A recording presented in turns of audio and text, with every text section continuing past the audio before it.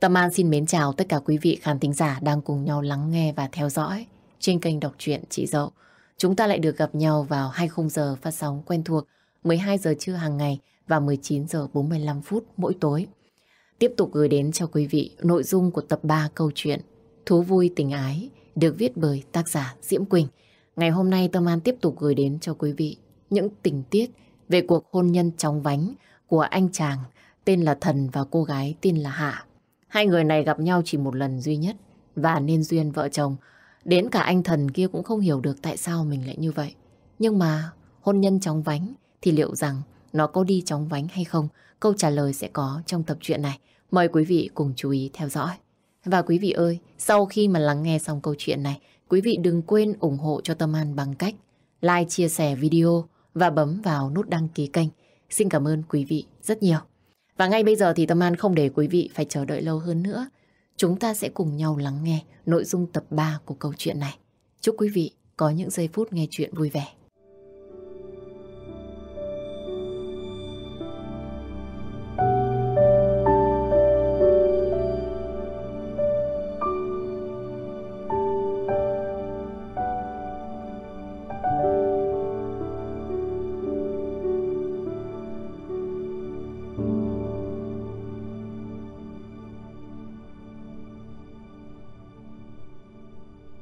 Những người phụ nữ sống ở khu ổ chuột, mơ ước lớn nhất của họ chính là có tiền, có miếng ăn để sống qua ngày.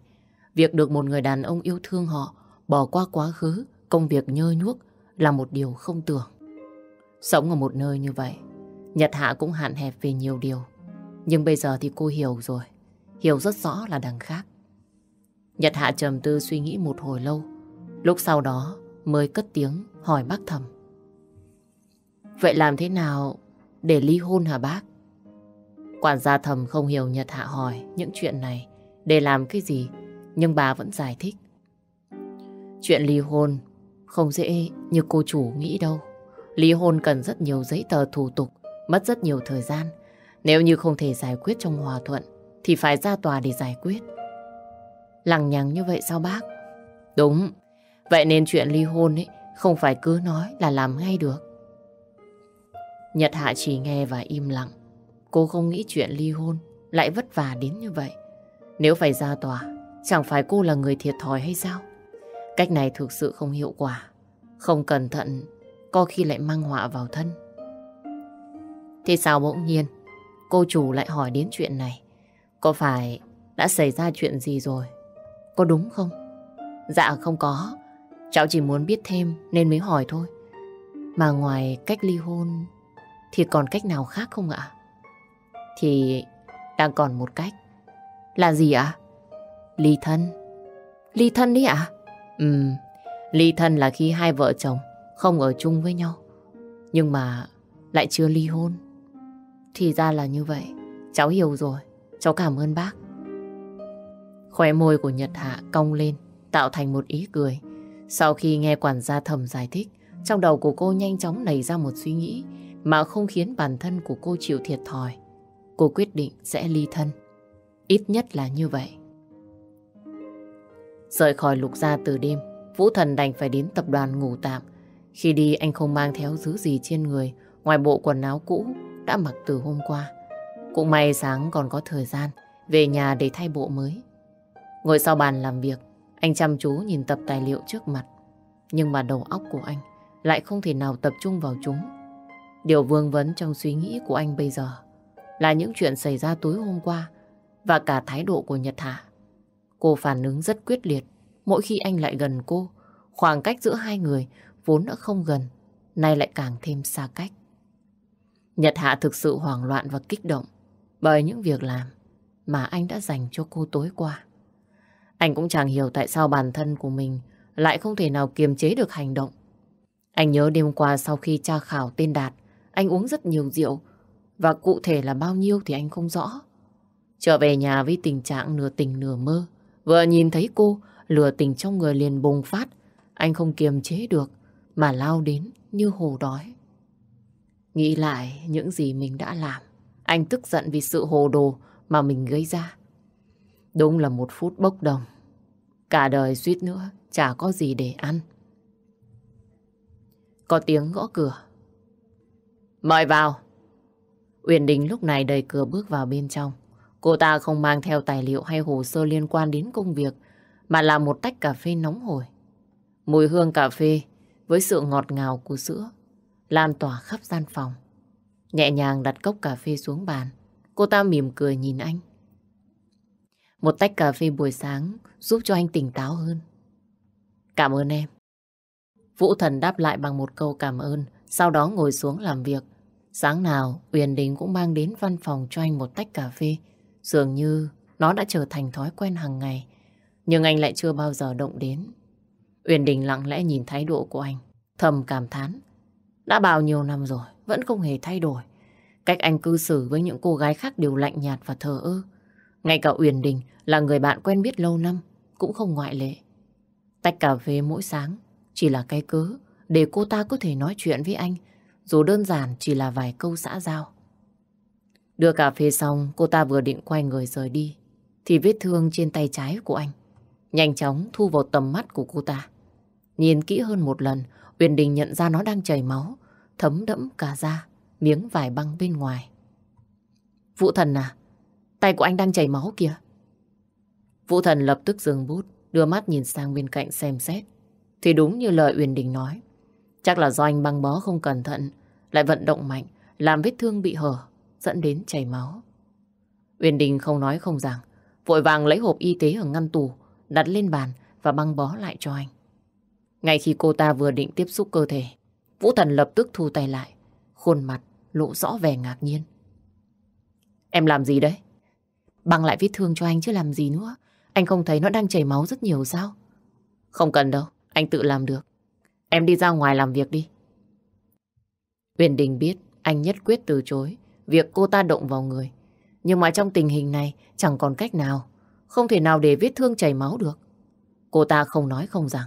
Trực tiếp tiến về phía của anh. Rồi tháo miếng băng cũ ra trước sự bất ngờ của Vũ Thần. Không phải anh bảo rằng anh tự làm được sao? Em chỉ muốn giúp anh thôi, chứ không có ý gì khác. Dù anh có thể tự làm, nhưng không hiệu quả bằng việc em băng bó. Em làm nhanh lắm, không mất nhiều thời gian đâu. Trong lúc thay băng, Uyên Đình vô tình phát hiện ngón áp út của anh có đeo một chiếc nhẫn, giống như nhẫn cưới. Ban đầu cô không suy nghĩ nhiều, tự nhủ đó có thể là trang sức thông thường. Nhưng khi nhớ đến cô gái hôm trước được Vũ Thần yêu thương, cô ta lại nghi ngờ về chiếc nhẫn này. Anh Vũ Thần này, chiếc nhẫn này... À, là nhẫn cưới. Nhẫn cưới? Anh kết hôn từ bao giờ? Mới ngày hôm qua. Anh đừng nói với em là anh kết hôn với cô gái hôm qua đến đây. Ừ, anh và Nhật Hạ mới đăng ký kết hôn ngày hôm qua. Bây giờ chỉ cần đợi thời gian thích hợp, bọn anh tổ chức đám cưới. Cô ta nghe xong sững sờ, không tin. Cô ta không ngờ đến chuyện anh lại nhanh chóng kết hôn với một cô gái chỉ sau vài lần gặp gỡ. Hơn nữa lại kết hôn một cách âm thầm. Lục Vũ Thần mà cô ta biết, từ trước đến nay luôn là người thận trọng trong mọi việc, làm gì đều suy xét một cách kỹ càng. Vậy mà lại chấp nhận một cuộc hôn nhân chóng vánh và gấp gáp như vậy sao? Uyển Đình tự hỏi, rốt cuộc Nhật Hạ đã dùng thủ đoạn gì lại khiến cho anh điên đảo, đưa ra quyết định bồng bột như thế này chứ? Cô ta đưa mắt nhìn anh. Uyển Đình hẳn đang muốn nói ra những gì bản thân cô ta nghĩ. Nhưng thay vì lên tiếng, cô ta lại chọn cách giấu kín trong lòng. Bởi vì cô ta biết khi Vũ Thần quyết định chuyện gì thì không bao giờ thay đổi. Dù cho quyết định đó có thể dẫn đến sai lầm. Cô ta nén tiếng thở dài tiếp tục băng bó cho anh. Khuôn mặt tỏ ra bình thản như không hề có chuyện gì xảy ra. Thế anh nói chuyện này với bác gái chưa? Em biết tính mẹ anh rồi. Bà ấy không dễ dàng chấp nhận cuộc hôn nhân này. Còn chưa kể, nếu như biết thân phận thật của Nhật Hạ, chắc chắn lại càng thêm phản đối. Uyên Đình chỉ nghe và không đáp. Thông tin cá nhân về Nhật Hạ đã được cô ta cho người điều tra từ sau buổi gặp mặt lần đầu tiên. Nên ít nhiều Uyển Đình cũng hiểu được lời mà anh vừa nói. Uyển Đình thầm nghĩ đến mẹ anh. Mẹ của anh là Tố Nga, là một người phụ nữ độc đoán và vô cùng xem trọng việc môn đăng hộ đối. Hiện tại bà Nga đang du lịch ở bên Mỹ. Nhưng một khi bà ta về nước và phát hiện con trai mình cưới một người con gái xuất thân từ khu ổ chuột, lại không có học thức, chắc chắn có rất nhiều chuyện hay ho. Trong khi Uyển Đình đang chăm chú băng vết thương, thì cánh cửa phòng đột ngột mở ra. Nhật Hạ từ bên ngoài bước vào trong. Chứng kiến cảnh này, Nhật Hạ không nói lời nào, chỉ im lặng cúi đầu. Bởi vì trong lòng của cô lúc này có một chút khó chịu. Ngay từ lần đầu tiên gặp mặt, Nhật Hạ cảm thấy không có thiện cảm với Uyển Đình. Đặc biệt là khi đối diện, cô lại càng thêm khó chịu. Cô biết, đối với một người chỉ mới gặp nhau chưa tới ba lần mà cô có suy nghĩ tiêu cực trong đầu quả thực không hay. Nhưng cô lại không thể nào ngăn cản được bản thân mình nghĩ đến nó. Bây giờ nhìn hai người họ ở nơi làm việc nắm tay nhau thân mật thế kia. Nhật Hạ chỉ biết im lặng. Phải thừa nhận rằng mỗi khi thấy Uyển Đình bên cạnh Vũ Thần, Nhật Hạ lại muốn Uyển Đình nhanh chóng rời đi. Mà những điều cô muốn, khó khăn đến nỗi, không thể nào bật ra thành tiếng. Vũ Thần vội vàng thu tay về, quay sang Uyển Đình, mỉm cười tỏ ý cảm ơn. Cảm ơn em.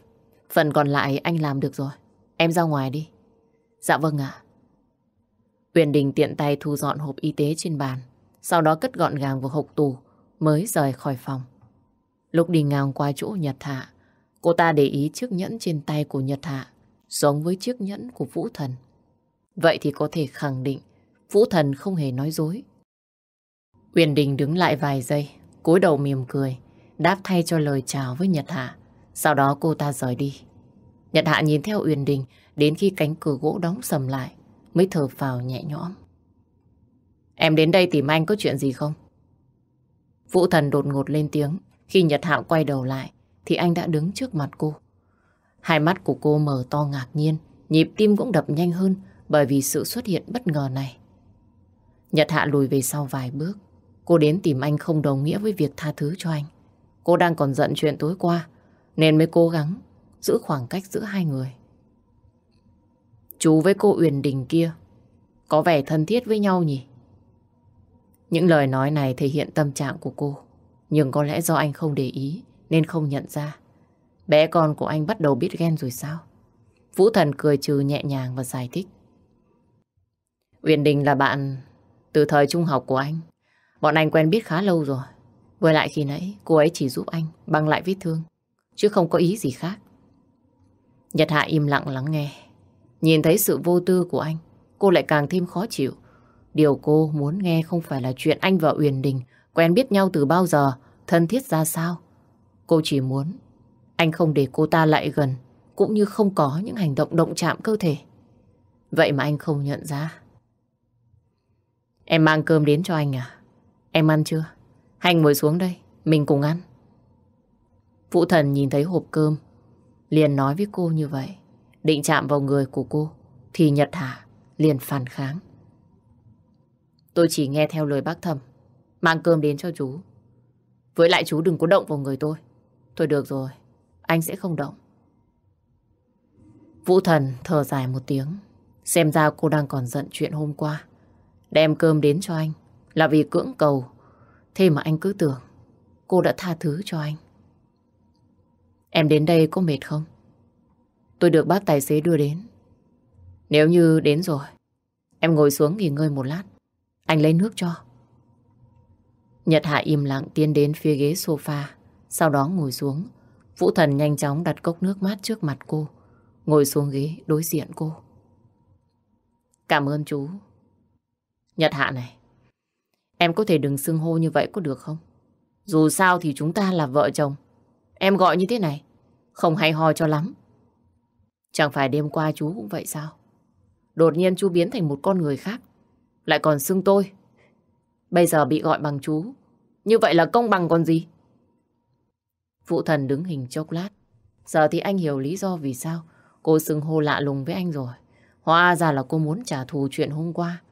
Bình thường cô ngoan ngoãn. Bảo cô đổi, liền đổi ngay. Bây giờ thì hay rồi. Còn biết cách đáp trả. Xem ra bé con của anh có thể sợ những thứ bên ngoài, nhưng tuyệt đối không ngần ngại đối đầu với anh. Anh còn chưa kịp lên tiếng nói thêm câu nào. Nhật Hạ mở lời nói tiếp. Chú này, chúng ta ly thân đi. Châu Nhật Hạ, em có biết mình đang nói gì không? Tôi chắc chắn, tôi muốn ly thân. Tôi không muốn ở cùng với chú. Chú là đồ xấu. Chú còn độc ác hơn cả bọn người đánh đập tôi. Tôi ghét chú. Những lời dâu kiến trong lòng được cô bộc bạch hết ra ngoài. Cô không biết từng câu từng chữ ấy đã chọc giận anh. Lục Vũ Thần tối sầm mặt mày. Từ trước đến nay chưa ai dám nói với anh những lời như vậy. Đặc biệt là đàn bà. Một khi là người của Vũ Lục Thần, trừ phi anh hết hứng thú tự nguyện vứt bỏ, thì tuyệt đối không ai được cắt đứt.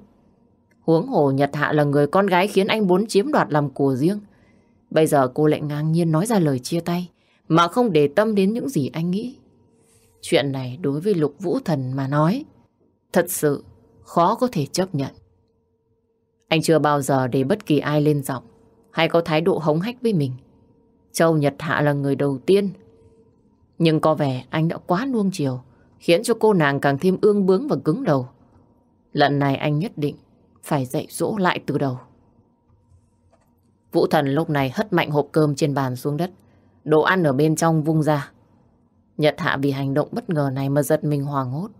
Cô còn chưa kịp định thần, anh tiến đến phía cô, nắm chặt lấy cổ tay của cô, dùng lực siết mạnh, rồi đẩy cô nằm xuống ghế. Thân hình to lớn của anh đè lên cơ thể nhỏ bé của cô. Hai người mặt đối mặt, trong thoáng chốc, ánh mắt của cô như chứa đựng tất cả hình ảnh của người đàn ông trước mặt. Lúc này cô mới thấy rõ, đôi mắt của anh nổi đầy tia máu, giống như mắt của một loài dã thú. Chú, chú buông tôi ra, chú làm tôi đau. Đau ư? Em biết đau. Thế chả nhẽ người khác không biết đau à? Bên ngoài có bao nhiêu người đàn bà muốn lên giường với tôi còn không được. Em ở đây sở giọng đòi ly thân với tôi. Tôi hỏi em, tôi ngủ với vợ của mình là sai sao? Chú bỏ tôi ra, đau tôi. Đừng có tưởng rằng tôi chiều em. Em liền muốn làm gì thì làm. Em có thể ương bướng với tất cả nhưng tôi thì không. Cả cuộc đời này em chỉ có thể làm người phụ nữ của tôi, nằm dưới thân của tôi mà thôi. Đừng có mơ tưởng đến chuyện rời đi. Chú là đồ khốn. Tôi ghét chú. Em có muốn tôi khốn nạn với em ngay tại đây không? Tốt nhất là ngoan ngoãn nghe lời. Và đừng bao giờ nhắc đến hai chữ ly thân trước mặt tôi. Nghe cho rõ. Cô bị anh làm cho hoàng sợ, không kiềm chế được mà bật khóc. Lúc này anh mới buông tay cô, rồi đứng dậy, tiến về phía trước chốt cửa. Quay đầu nhìn Nhật Hạ đang ôm gối khóc nức nở. Vũ Thần chậm rãi ngồi xuống kế bên. Ánh mắt của anh nhìn cô lạnh lẽo đến thấu xương. Thấp giọng ra lệnh. Qua đây. Nhật Hạ thù mình, ôm chặt lấy hai tay. Mặc cho người đàn ông kia đang kiên nhẫn chờ đợi. Cứ nghĩ việc ly thân dễ dàng, nhưng nó vô tình đẩy cô vào tình thế khó khăn. Không những không đạt được mục đích, mà lại còn khiến cho anh nổi trận lôi đình. Nhật Hạ hé mắt, hướng về phía anh. Cô vẫn thấy anh đang đợi, nhưng thật lòng cô lại chẳng muốn gần anh. Bởi vì cô sợ anh lại làm giống chuyện của tối qua. Mau lại đây, tôi không đủ kiên nhẫn để chờ đợi đâu. Nhanh lên! Tiếng quát tháo khiến cô giật mình. Không còn cách nào khác, Nhật Hạ đành phải nghe theo lời của anh. Cô từng bước chậm rãi đi tới chỗ anh. Vũ Thần vỗ tay vào đùi ra hiệu. Nhật Hạ không ngồi xuống ngay, mà trần trừ suy nghĩ một lúc lâu sau. Cô mới thực hiện. Vũ Thần ôm gọn cơ thể nhỏ bé vào đầu lòng, vùi đầu vào hõm cổ của cô, hít lấy mùi hương thơm dịu nhẹ từ cơ thể của cô. Nhật Hạ từ nãy đến giờ, cúi mặt, ngàn vạn lần cô không dám ngẩng đầu lên để đối diện với anh. Thế tại sao em lại muốn ly thân? Thành âm trầm mấm nhẹ nhàng không còn hung hãn như khi nãy, nhưng cứ mang theo sự áp bức quá nồng đượm. Cô cúi đầu xuống đất, hai tay đan xen vào nhau, cắn chặt lấy môi mình. Trong lòng không khỏi cảm thấy hỗn loạn. Mãi một lúc sau mới mấp máy. Chú, chú cưỡng bức tôi, chú làm tôi đau. Đêm qua chú không giống người, bình thường một chút nào cả. Tôi không phải là cưỡng bức em, mà tôi chỉ đang thực hiện việc mà người chồng nên làm với người vợ của mình. Dù đó là chuyện gì đi chăng nữa, nếu như không nhận được sự đồng ý của tôi, đó chính là cưỡng bức. Phụ thần nên tiếng thở dài và cười khổ. Anh chẳng thể nào phản bác lại lời nói của cô, bởi vì nó quá đúng. Quả thực đêm qua anh mượn men say trong người, mà cưỡng đoạt cô một cách tàn nhẫn. Bây giờ anh tẩy trắng hành động của mình với sự bao biện là những việc vợ chồng thì đúng là phi lý. Anh trầm tư suy nghĩ, nếu không tìm ra lý do thích hợp, sợ rằng trong đầu Nhật Hạ vẫn luôn cho rằng anh đã biến thành một con người khác. Nhìn người con gái trong lòng, anh nhẹ nhàng vuốt ve mái tóc mềm của cô, ôn tồn giải thích. Đó không phải là cưỡng bức. Tôi muốn em ghi nhớ rõ điều này. Tôi, việc tôi làm đêm hôm qua, chẳng qua là việc của một người chồng. Muốn có một đứa con với một người vợ. Bởi vì tôi muốn em mang thai. Đơn giản thế thôi. Thật là không ngờ, Vũ Thần kiêu ngạo chưa bao giờ quy phục trước ai, mà phải hạ mình nói ra những lời ngụy biện để cho Nhật Hạ thôi không tức giận, mà tha thứ cho anh. Anh không biết cô có tin những điều anh vừa nói hay không, nhưng đó chính là lý do hợp lý mà lúc này anh có thể nghĩ ra. Nhật Hạ chớp chớp mắt, im lặng suy nghĩ. Hồi lâu sau, cô mới hỏi. Vậy, việc chú làm là để có con à? Nó không phải là cưỡng bức à? Để có con, bây giờ em hiểu rồi chứ? Nhưng, nhưng chú làm tôi đau. Nhật Hạ nói lý nhí trong miệng, thành âm bé như vậy. Vũ Thần phải khó khăn lắm mới nghe ra được. Đúng là hôm qua anh có hơi mạnh tay với cô. Dù sao cũng là lần đầu tiên bị cướp đi một cách hung hãn như vậy. Quả thật là anh không nên. Tôi xin lỗi. Đêm hôm qua tôi có uống chút rượu.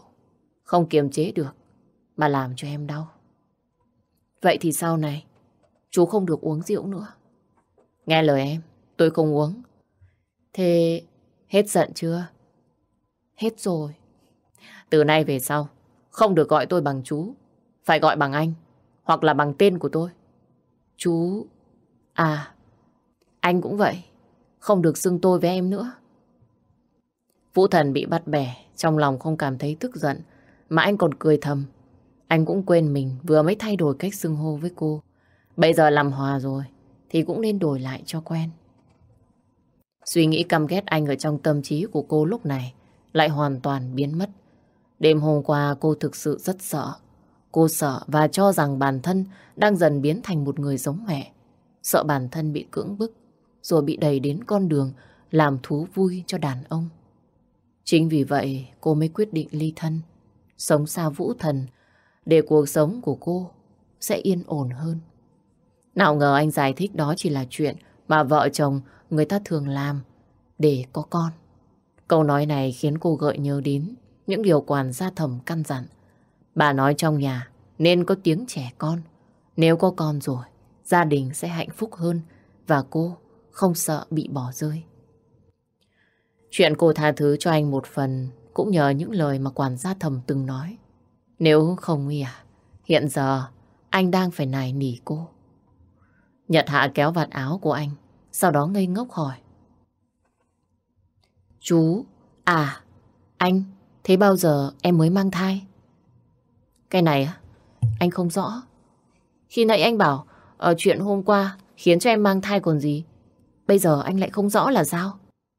Thì để mang thai không phải nói có ngay là có được. Với lại chuyện hôm qua, phải lặp đi lặp lại nhiều lần thì mới hiệu quả được. Nghe xong Nhật Hạ lập tức run sợ. Khuôn mặt của cô tái nhợt trắng bệch, đôi môi anh đào mấp máy. Phải, phải làm nhiều lần ấy ạ? Nhưng mà đau lắm. Chúng ta không còn cách nào khác sao? Yên tâm đi, lần tới anh nhẹ nhàng với em hơn, nhá. Khóe môi vũ thần cong lên, tạo thành một nụ cười đầy ý vị. Chưa cần đợi lần tới, trong đầu anh bây giờ lại nghĩ đến nó rồi. Có điều hôm qua vận động mạnh như vậy, chắc hẳn cô còn đau. Nên anh không dám hành động, mà phải nhẫn nhịn thêm một vài ngày nữa. Nhật Hạ ngồi ngoan ngoãn trên đùi anh không nhúc nhích. Anh thích dáng vẻ này của cô, hơn là cái lúc cô ương bướng cứng đầu, nghe lời và dễ dụ dỗ hơn. Bé con này, anh đói quá. Nghe như vậy, Nhật Hạ đưa mắt nhìn về phía hộp cơm, bị anh hất vương vãi. Anh làm đổ hết cơm rồi còn đâu nữa. À, hay bây giờ em về nhà, làm một hộp cơm mới, mang đến đây cho anh nhé. Không cần, anh ăn tạm thứ khác cũng được. Nhưng mà, ăn gì? Phú Thần không đáp, chỉ mỉm cười rồi hôn lên môi cô. Cô không kịp phản ứng với hành động bất ngờ này của anh. Đôi mắt mở to ngạc nhiên, hai tay đặt lên ngực anh muốn đẩy anh ra, nhưng bất thành. Anh vừa mới dứt lời, lại cúi xuống gặp nhấm đôi môi của cô. Thế chà nhẽ, cô là thức ăn của anh à? Nhật Hạ không suy nghĩ được nhiều, sức lực chẳng còn đâu mà kháng cự.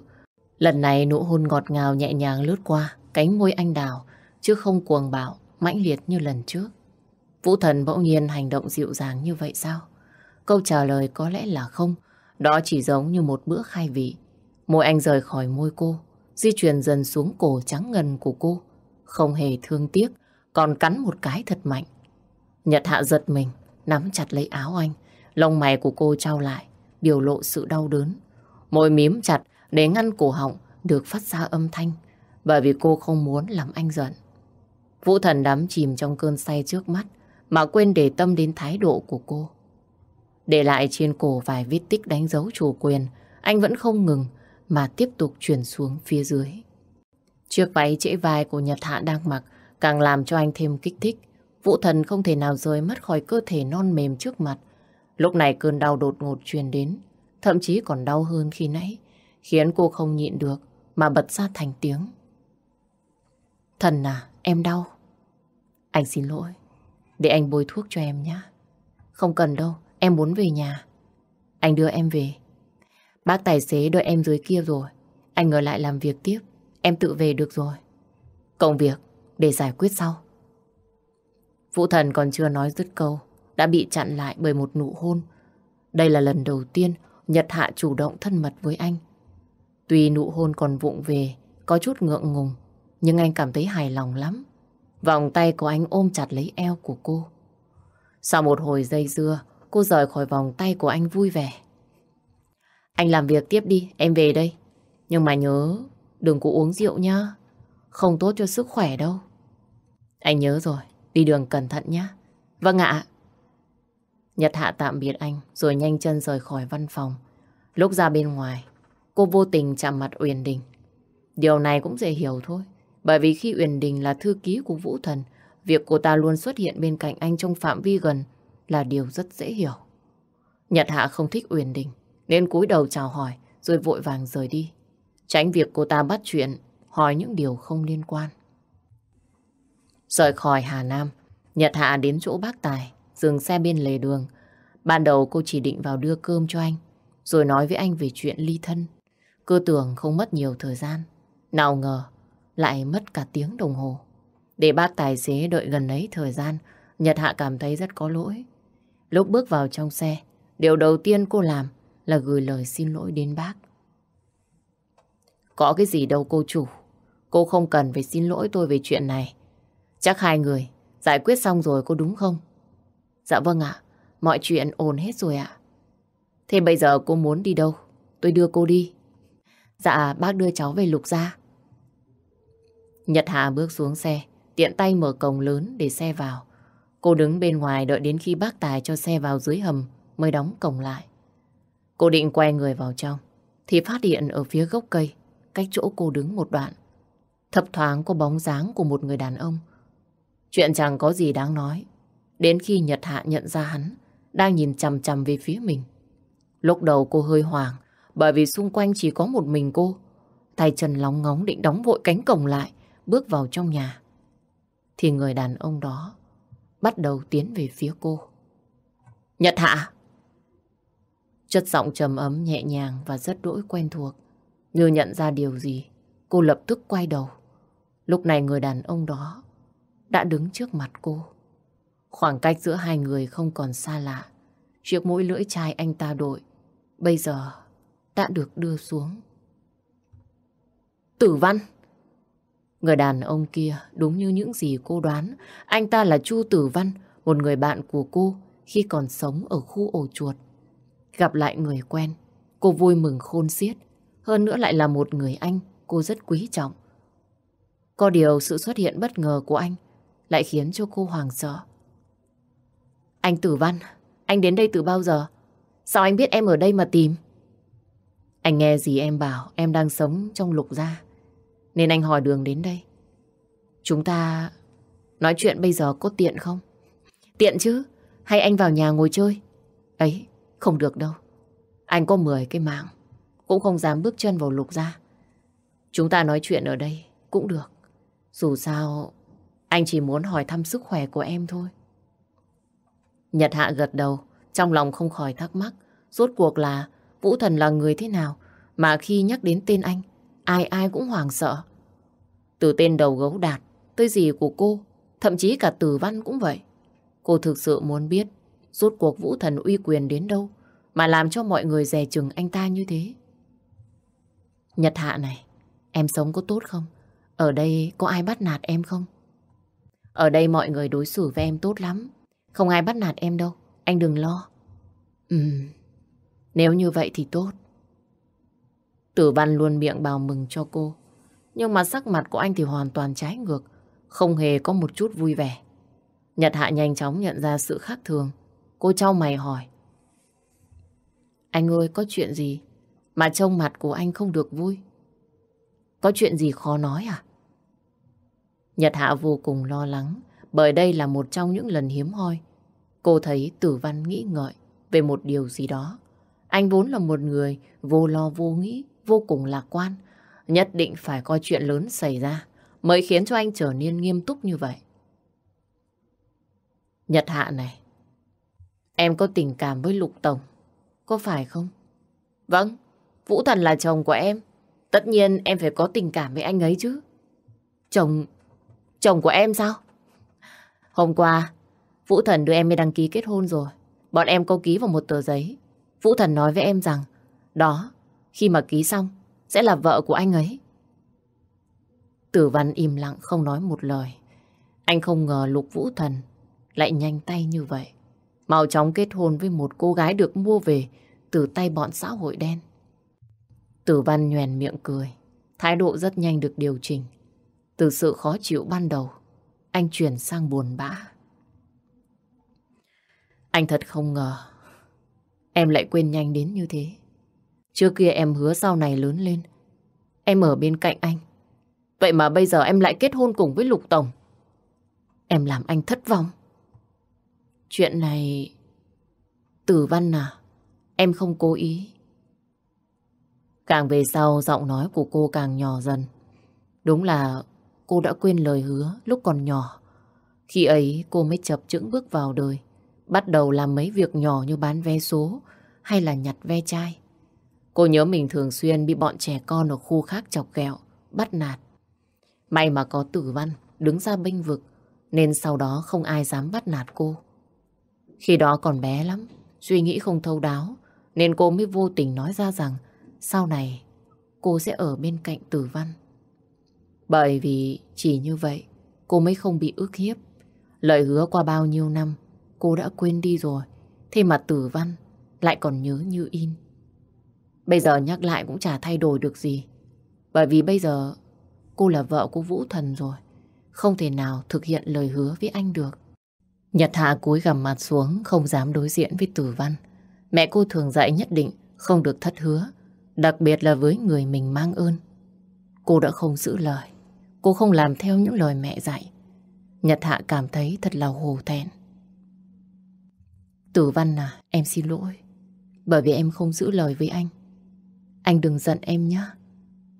Thôi được rồi, anh chỉ nói đùa vậy thôi. Mà ngày mai anh có thể gặp em có được không? Ngày mai sao? Ừ, dạ được. Vậy em cho anh số điện thoại nhé. Nhật Hạ nhanh tay lấy điện thoại trong túi đưa cho Tử Văn. Điện thoại mà cô có là do Vũ Thần mua bởi vì anh muốn liên lạc với cô dễ dàng. Tử Văn mở danh bạ điện thoại. Trong danh sách chỉ có số của Vũ Thần. Tử Văn cười thầm, lưu số của mình lại rồi đưa cho cô. Tối nay anh nhắn địa chỉ cho em nhé. Vâng, thế bây giờ anh về luôn à? Ừ, anh còn một số chuyện cần phải làm. Ngày mai gặp lại em. Tử Văn xoa đầu của Nhật Hạ, vuốt ve mái tóc mấy lần, sau đó mới rời đi. Cô nhìn theo bóng dáng của anh khuất dần, đến khi không còn thấy nữa mới yên tâm vào nhà. Có điều Nhật Hạ không biết, những chuyện vừa mới diễn ra đều thu vào tầm mắt của Vũ Thần. Anh vốn định kết thúc công việc về sớm, về với cô. Thật không ngờ, lại vô tình bắt gặp cảnh tượng khi nãy. Vũ Thần ngồi trong xe, cả người của anh nóng như lửa đốt, chỉ hận không thể nào lao đến, đánh vào bàn mặt của tên khi nãy, nói chuyện với Nhật Hạ. Sự bình tĩnh thường ngày của anh chẳng mấy chốc mà tan biến chỉ vì một hành động nhỏ khi thấy người đàn ông khác chạm vào cô. Vũ Thần nhấn chân ga tăng tốc rồi phóng đi thật nhanh. Không biết anh có định làm gì, điểm đến cuối cùng ở đâu. Chỉ là hiện tại anh không đủ bình tĩnh để đối diện với cô. Nếu không thể nào dập tắt sự ghen tuông này, e rằng lại xảy ra chuyện giống như tối hôm qua. Đêm đến, Nhật Hạ ngồi đợi, Vũ Thần về. Nhưng mà đợi mãi, chưa thấy anh về. Điện thoại cho anh cũng thuê bao. Cô lo lắng, nhỡ mày có chuyện không may xảy ra. Nhưng quản gia thầm chấn an cô bằng mấy câu khuyên nhủ rằng anh có thể đang bận công việc nên mới không nghe điện thoại.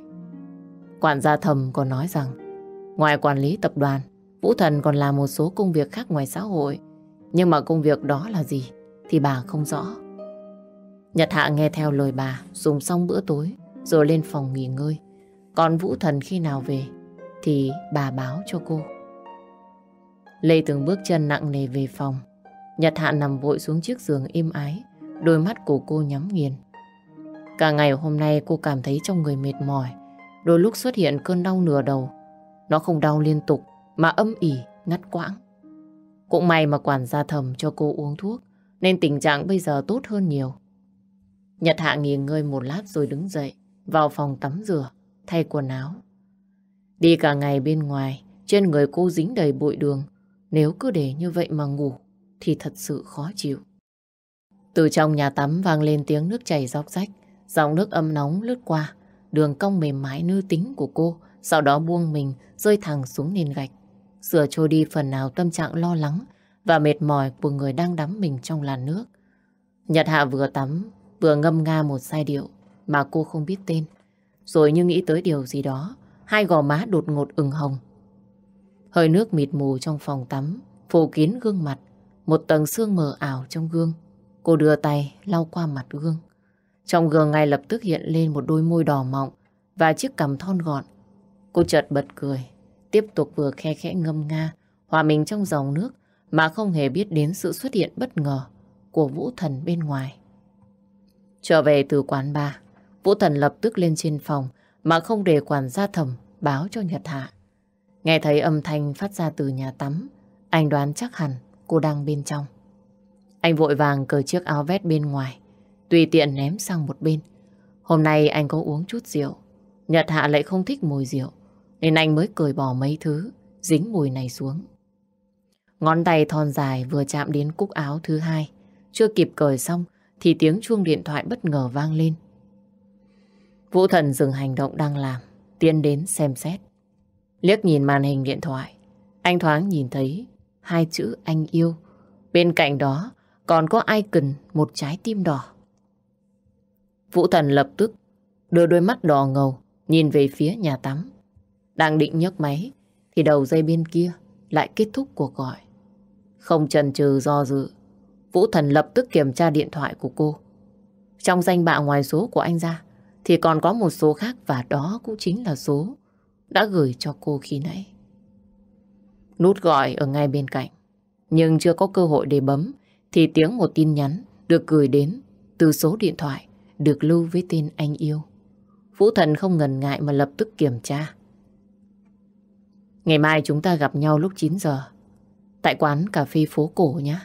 Chúc em ngủ ngon. Nếu chỉ là một tin nhắn thông thường thì không có gì đáng nói. Nhưng sau khi kết thúc, người kia còn gửi rất nhiều ai cần thể hiện tình yêu. Vũ Thần nghĩ đến người đàn ông nói chuyện với cô sáng nay, nhớ đến những hành động thân mật. Bây giờ, bỗng nhiên xuất hiện dòng tin nhắn này, đầy tình cảm, dành bà lưu với cái tên thân mật. Thử hỏi anh làm sao? Có thể không nghi ngờ được chứ? Vũ Thần đặt điện thoại xuống bàn. Toàn thân của anh nóng như lửa đốt. Đặc biệt là ánh mắt nổi đầy tia máu đỏ. giận dữ vô cùng. Sự điềm tĩnh vững chắc như bức tường thành, ngày thường bây giờ hoàn toàn sụp đổ. Cơn thịnh nộ đầy đến đỉnh điểm. Anh nắm chặt tay, mu bàn tay nổi đầy gân xanh. Tâm trạng bây giờ, nếu mà gặp người đàn ông sáng nay nói chuyện với cô, chắc chắn sẽ xảy ra án mạng. Cả chiều hôm nay anh tìm một nơi để hạ hỏa, xoa dịu đi cơn ghen tuông trong lòng. Nhưng bây giờ thì mọi việc đều trở nên vô nghĩa. Từng mạch máu trong cơ thể cũng theo nhiệt độ mà nóng dần lên. Trông anh bây giờ tựa hồ như có thể phá nát tất cả. Lúc này Nhật Hạ từ trong nhà tắm bước ra. Trên người của cô mặc một bộ váy lụa. Trên tay cô còn cầm một chiếc khăn để lau khô mái tóc. Nhìn thấy anh, cô vội vàng bỏ khăn xuống, chạy đến ôm chầm lấy anh. Cô áp mặt vào lưng của anh, cả đầu mũi của mình vào áo của anh, người mùi hương trầm dịu nhẹ. Anh về từ khi nào thế? Em đợi anh cả buổi tối mà có thấy anh về đâu. Anh giữ thái độ im lặng. Bên trong anh đang muốn bộc phát sự phẫn nộ. Nhưng mà anh phải kìm nén cảm xúc. Này, anh không nghe em hỏi à? Nếu như anh mệt, để em xoa bóp cho anh nhé. Vũ Thần! Lục Vũ Thần! Nhật Hạ phải gọi đến lần thứ ba, anh mới chịu quay người lại đối diện với cô. Nhật Hạ không hề tức giận, bởi vì anh không trả lời mình. Ngược lại, cô còn rất vui. Bác Thẩm có để phần cơm anh ở dưới nhà đấy. Để em xuống lấy cho anh nhé. Không cần đâu. Anh ăn rồi. Bước chân của Nhật Hạ dừng lại. Cô à lên một tiếng hiểu ý và tiếp tục nói chuyện. Cô gái nhỏ không hề nhận ra sự thay đổi bất thường trên gương mặt của người đàn ông này. Đó chính là ánh mắt sắc lạnh đến giận người của anh. Ngày mai, anh cho em ra ngoài gặp bạn một chút nhé. Gặp bạn á? Hay là gặp tình nhân? Tình nhân nào? Anh nói cái gì thế? Làm gì có tình nhân nào? Không có sao? Vậy đây là gì?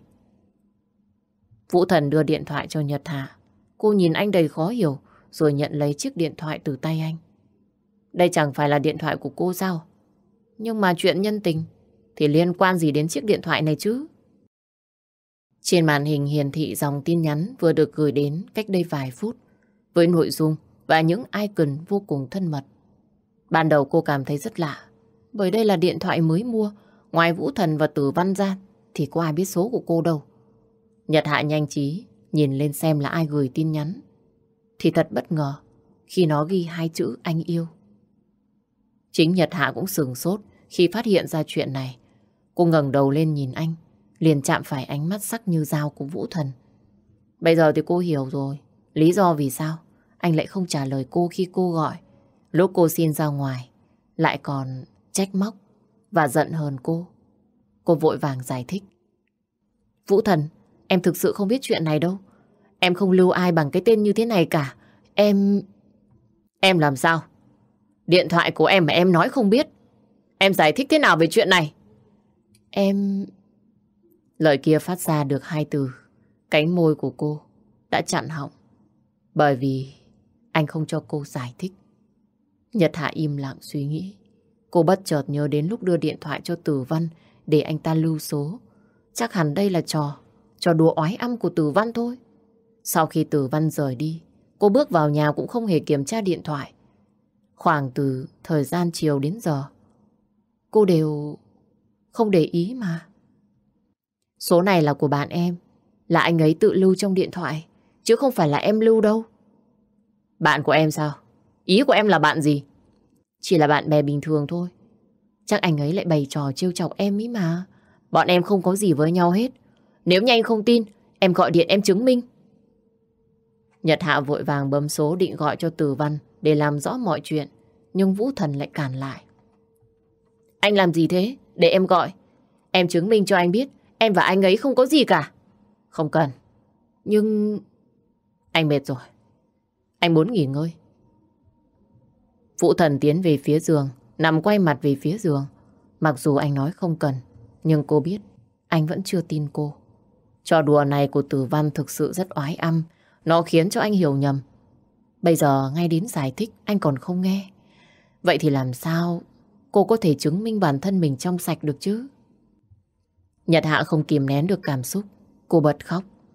Cô khóc vì oan ức Khóc vì sợ rằng anh nghĩ rằng cô phản bội anh. Và rồi anh sẽ ly hôn với cô.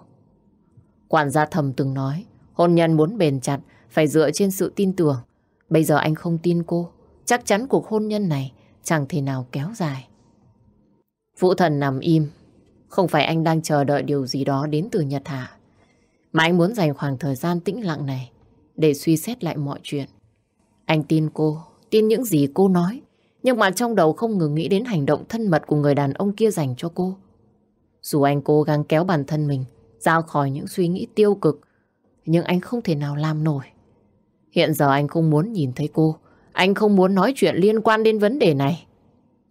Với tính cách của Vũ Thần trước kia, những người phản bội anh, dù chỉ trong suy nghĩ, đều phải nhận kết cục bi thảm. Đối với Nhật Hạ, anh lại chẳng thể làm gì. Anh đành phải nhẫn nhịn cô. Chợt lúc này có một bàn tay nhỏ vòng qua ôm lấy eo của anh. Cơ thể anh to lớn, tay cô ôm sao cho hết, nhưng cô cố gắng không buông. Anh cảm nhận lưng áo của mình bị ướt, rồi sau đó một vài âm thanh sụt xịt vang lên nho nhỏ. Em thực sự không phản bội anh đâu. Em không có ai bên ngoài cả. Anh đánh em cũng được, anh mắng em cũng được. Nhưng anh đừng im lặng. Anh muốn em làm gì cũng được. Chỉ cần anh tin em thôi. Thần, anh có nghe em nói không? Làm ơn trả lời em đi mà. Vũ thần. Đáp lại những lời khẩn cầu là sự im lặng đến lạnh người. Mặc cho cô nói gì, làm gì, anh nhất quyết không lên tiếng. Một tiếng động nhỏ cũng hoàn toàn không có. Nhật Hạ thực sự tuyệt vọng. Hai người mới làm lành sáng nay thôi. Thế mà đến bây giờ lại xảy ra chuyện hiểu lầm. Đến 11 giờ đêm, Vũ Thần mở mắt. Từ nãy đến giờ anh không tài nào ngủ được, dù cố gắng nhiều lần. Quay sang bên cạnh, nhìn thấy cô đã ngủ. Anh nhẹ nhàng gỡ tay cô ra khỏi người mình, sau đó ngồi dậy. Bước xuống giường, anh lấy chiếc áo vét vứt ngổn ngang trên ghế khi nãy và mặc vào người. Vừa chuẩn bị bước ra khỏi phòng thì giọng nói của cô bất ngờ vang lên. Muộn thế này rồi, anh còn đi đâu chứ? Cũng không muộn. Em ngủ đi. Vũ thần cố ý làng tránh sang chuyện khác để không phải trả lời câu hỏi của cô. Còn cô vẫn tiếp tục hỏi. Anh đi đâu? Anh ra ngoài có chút việc. Em ngủ đi. Khoan đã, Vũ thần à? Nhật Hạ còn chưa nói hết. Anh đã nhanh chân bước ra khỏi phòng. Cô trầm ngâm suy nghĩ. Tự hỏi đêm muộn như thế này thì có việc gì anh cần phải giải quyết chứ? Nghe thấy tiếng xe ô tô vang bên ngoài, cô liền đi đến bên cửa sổ và xem xét. Không hiểu sao từ lúc anh đi, lòng của cô nóng như lửa đốt, thấp thỏm lo âu, xen lẫn sợ hãi. Một cảm giác vô hình, khó gọi tên, được hình thành trong lòng của cô. Và đâu đó tâm trí của cô lại xuất hiện những suy nghĩ viển vông. Nhật Hạ đi đi lại lại nhiều lần và cuối cùng vì sự sốt sắng của bản thân, cô quyết định đi theo anh. Cô không có nhiều thời gian để thay quần áo, nên chỉ khoác tạm một chiếc áo dài ở bên ngoài và mang theo một ít tiền mặt để phòng thân. Bước chân ra ngoài, bây giờ gần nửa đêm, xe cộ đi lại ít hơn thời điểm khác trong ngày. Bác tài xế về nhà từ chiều nên cô không thể nào nhờ bác ấy đưa đi. Cô đi dọc trên vỉa hè, dẫn ra đường lớn rồi đứng ở đó quan sát. May mắn sao cô phát hiện một chiếc taxi đang đỗ bên đường. Cô nhanh chóng chạy sang. Cô đưa cho tài xế định vị của anh trên điện thoại rồi yêu cầu bác Tài đưa cô đi. Mất khoảng 20 phút đi đường, chiếc xe dừng lại trước một quán ba lớn. Trả tiền xe xong, cô chỉ dám đứng bên ngoài quan sát. Cô ngẩng đầu lên, sau đó trong miệng lầm nhầm mấy chữ. Quán ba Angel. Ban đầu cô nghĩ rằng tài xế chạy nhầm đường, cho đến khi nhìn thấy xe của anh thì mọi suy nghĩ đều tan biến. Nhật Hạ tự hỏi, đêm muộn thế này rồi, anh còn lui tới những nơi không lành mạnh để làm gì chứ? Vũ thần tới quán ba không phải thực hiện giao dịch, thì chắc chắn chỉ có thể đi tìm phụ nữ mà thôi. Mặc dù cố gắng ngăn bản thân, nhưng Nhật Hạ không thể nào ngừng suy nghĩ đến những điều tiêu cực. Mấy cô gái làm việc trong quán bar đều giống như cái nghề mà mẹ cô từng làm. Đó chính là lấy lỗ làm lời. và đàn ông tìm đến họ chỉ để thỏa mãn nhu cầu mà thôi. Nhật Hạ nhìn vào những cặp đang bước ra từ quán bar. Bên cạnh người đàn ông đều có một cô gái mặc những bộ đồ cắt xẻ ngắn cũn cỡn và ôm sát lấy cơ thể. Cô nhìn sơ qua thôi cũng biết bọn họ chuẩn bị đi đâu. Nhật Hạ đứng bên ngoài hồi lâu trần trừ mãi, cô mới dám bước vào. Bên trong nhạc được bật ở âm lượng lớn, mấy tên đàn ông thì gieo hò hứng thú với mấy cô gái đang nhảy trên sàn. Nhật Hạ đưa mắt nhìn xung quanh, vừa tìm kiếm anh đang ở đâu, để tránh những gã dê sồm đang có ý định đến gần chỗ cô. Lúc này tại phòng VIP, Vũ Thần ngồi trên chiếc ghế bọc nhung đỏ, chân bắt chéo, gác tay lên thành ghế, dáng ngồi thể hiện khí thế vương giả, khó ai bì kịp. Chất lòng màu đỏ rượu song sánh trong chai. Vũ Thần cũng chẳng tốn công rót ra chiếc ly để chuẩn bị sẵn sàng trên bàn như một phép tắc thông thường khi thường rượu. Anh kề miệng, sát miệng chai, dốc thẳng rượu xuống cổ họng. Anh muốn dùng sự cay nồng của rượu để tạm quên đi những gì mới diễn ra. Cánh cửa phòng đột ngột mở ra, từ bên ngoài bước vào một người đàn ông. Anh ta khoác ở trên người một chiếc áo sơ mi đen, cùng với quần Âu thoạt nhìn cũng chạc tuổi của Vũ Thần. Không hề kiêng nề sự xuất hiện của Vũ Thần trong phòng này, anh ta trực tiếp bước đến, ngồi xuống hàng ghế bên cạnh. Nhìn số chai rượu vàng uống sạch trên bàn, người đàn ông này tỏ ra ngạc nhiên. Không phải khi nãy mới uống ở đây rồi sao? Tưởng về nhà rồi. Thích đến đây, có được không? Giọng nói của anh vô cùng cao ngạo, lại kèm theo cả sự thách thức. Người đàn ông kia không để tâm đến, chỉ gật đầu cho qua chuyện. Đến uống tiếp cũng được, nhưng nhớ phải thanh toán đầy đủ đấy. Vũ thần không đáp trực tiếp, mà cầm chai rượu vang lên uống một hơi hết sạch. Người đàn ông ngồi nói chuyện với anh từ nãy đến giờ, chính là Hoàng Thiên, chủ của quán bar này, và đồng thời cũng là bạn của anh. Phòng VIP này vốn dĩ được xây dựng để dành cho những vị khách đặc biệt, nhưng cuối cùng lại đặc cách trở thành phòng riêng của Vũ Thần. Mỗi khi anh đến đây uống rượu, ban đầu Hoàng Thiên nhất quyết không đồng ý. Có điều khi nhìn thấy số tiền mà Vũ Thần đặt cọc, anh ta lại nhanh chóng thay đổi quyết định. Đúng là đồng tiền có thể giải quyết được mọi chuyện một cách dễ dàng nhất. Này, hôm nay quán có tuyển thêm mấy em xinh lắm. Hay tao gọi một em đến đây, phục vụ mày nhé. Đảm bảo đang còn trinh nguyên. Tao không hứng thú. Cái gì mà không hứng thú? Tao đảm bảo nhìn thấy em này, mày ưng ngay. Yên tâm đi, chỗ bạn bè, tao lấy rẻ cho. Mà mày giàu như thế thiếu gì tiền mà không mua được một em. Để tao gọi vào nhá. Vũ Thần đưa tay ra hiệu dừng lại, nhưng Hoàng Thiên nhất quyết không nghe. Hoàng Thiên lớn giọng ra lệnh. Rất nhanh chóng, cánh cửa phòng được mở ra. Từ bên ngoài một cô gái được đưa vào. Vũ Thần không còn cách nào khác, chỉ đành thở dài ngao ngán. Anh đến đây với mục đích uống rượu dài sâu. Còn chuyện trai gái, từ trước đến nay, anh chưa bao giờ nghĩ đến. Đặc biệt là những cô gái làm việc ở đây.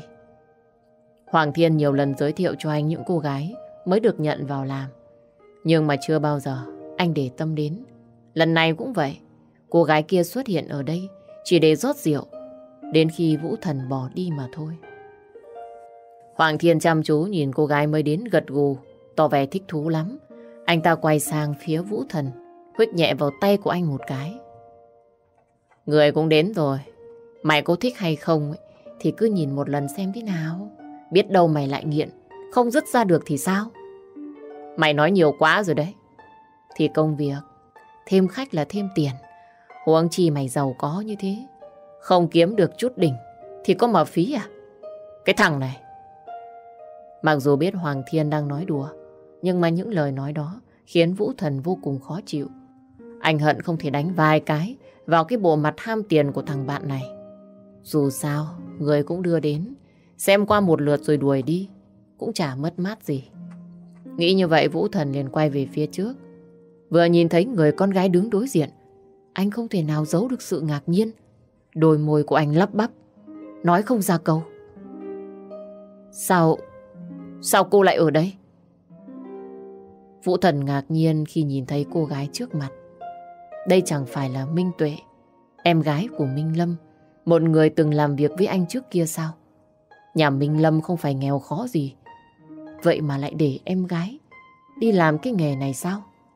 Là do cô ta sống trong sung sướng quá lâu, nên sinh ra đổ đốn hay gia đình thực sự gặp chuyện gì đó. Minh Tuệ vừa nhìn thấy Vũ Thần, liền lập tức cúi mặt xuống, hai tay nắm chặt lấy vạt áo run rẩy, không dám buông ra. Bây giờ trong Minh Tuệ không còn cảm giác ngạc nhiên, thay vào đó là sự sợ hãi và lo lắng tột độ. Hoàng Thiên thấy hai người này quen biết liền nở một nụ cười thích thú. Anh ta vỗ tay rồi nói Tôi thật không ngờ hai người lại quen biết nhau. Thế là tốt rồi. Phòng này cách âm, cứ từ từ mà tận hưởng. Dứt lời Hoàng Thiên đứng dậy, tiến về phía của Minh Tuệ, nói nhỏ vào tai của cô. Lần đầu phục vụ khách cho tốt, đừng để tôi phải dùng biện pháp mạnh. Cánh cửa nhanh chóng được đóng lại, trả lại cho căn phòng một bầu không gian tĩnh lặng. Minh Tuệ sau lời cảnh cáo của Hoàng Thiên, cô lại càng thêm sợ hãi. Ban đầu Minh Tuệ nghĩ rằng lần đầu cô phải trao cho một lão già nào đó. Thật không ngờ lại gặp chúng người quen. Hơn nữa người này còn quen biết anh trai của cô. Nếu như vậy thả rằng lên giường với một lão già còn tốt hơn. Minh Tuệ vốn đang là sinh viên, chỉ vì anh trai lao đầu vào cờ bạc thua lỗ, nên bây giờ hoàn cảnh mới thành ra thế này. Thực lòng Minh Tuệ không muốn làm gái, nhưng nếu không có tiền, bọn đòi nợ sẽ tìm anh cô tính sổ, rồi còn tiền thuốc cho mẹ cô. Cô không thể nào làm khác được. Quý vị và các bạn thân mến, Tâm An vừa mới gửi đến cho quý vị và các bạn tập 3 của câu chuyện Thú vui tình ái được viết bởi tác giả Diễm Quỳnh. Cảm ơn tất cả quý vị đã đồng hành cùng với Tâm An trong câu chuyện này. Không biết là quý vị có cảm nhận như thế nào nhỉ?